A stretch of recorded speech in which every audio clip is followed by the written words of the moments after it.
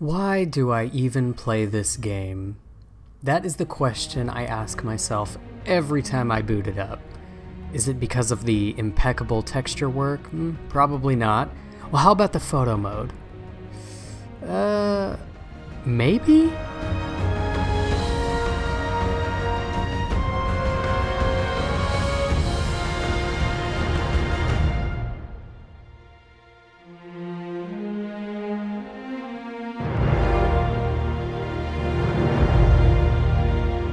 Okay, Fallout 76 is, to this day, such a mess in terms of the game's stability and visual fidelity. Like, seriously, it sometimes feels like I'm playing a PS2 game.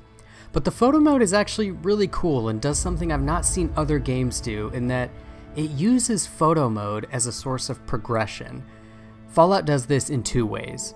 Firstly, there are unlockable frames and poses within the mode these can be obtained through quests or the free battle pass they have. This is a really cool idea, and I wish more games would lean into the photo mode as a tool of expression like this. The frames are great too. They range from postcards to military propaganda. Now, the second way the photo mode ties into progression is that there are often daily challenges that ask the player to take photos, now, granted, most of the time the photo is of literally anything, so you could just open up your menu and spam a photo mode three times to complete the challenge. But there are others that ask the player to take a specific photo of something or someone. This is awesome. I love the idea of gamifying photo mode in a way that encourages the player to explore the world in different ways. It would also be cool to see this expanded and somehow allow players to frame their photos and put them inside their player made homes. Another noteworthy addition to Fallout 76 is the variety in player housing. One might explore the entire map, but every time you log on, there are new and fascinating player structures that give the game a, a kind of longevity to it. Now, on to the not so favorable stuff. Firstly, I don't think Bethesda understands what brightness means.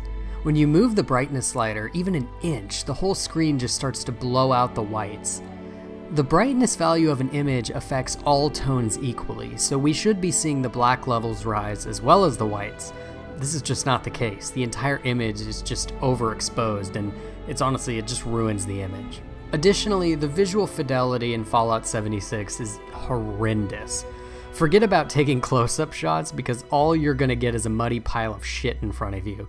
The textures are wildly bad. I, I, even recently went back to look at older Fallout games just to compare, and they were all better looking. Look at this shot from Fallout 3. Now, the geometry isn't perfect, but at least the textures have clarity. Fallout 76 has a lot of ideas that would be great additions to other live service games. But a lot of these ideas go to waste when the world itself isn't worth capturing.